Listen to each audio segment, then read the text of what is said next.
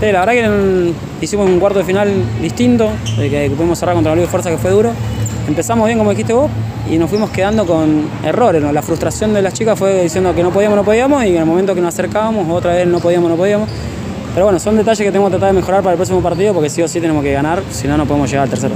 Justamente hablas de detalles porque si uno se pone a mirar estadística, a Niveiro fueron las que más le fulearon, pero también bueno, lo- los tiros libres no, no estuvieron por lo menos 50% certeros, ¿no?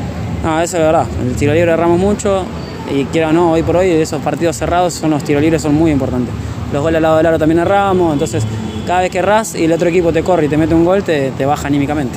Bueno, y ante semana corregir esos errores, imagino, y también tratar de eh, evitar por ahí los bloqueos que, gan- que ganaron ellos y también los robos que le, que le metió el rival. Sí, tal cual. Tenemos que tratar de bajar la cantidad de errores que tenemos nosotros y más del lado nuestro me parece que yo creo que Mitre en un momento se jugó con los errores nuestros y eso le permitió correr, le permitió llegar más tranquilo al tercer cuarto, le permitió siempre a partir de nuestro error.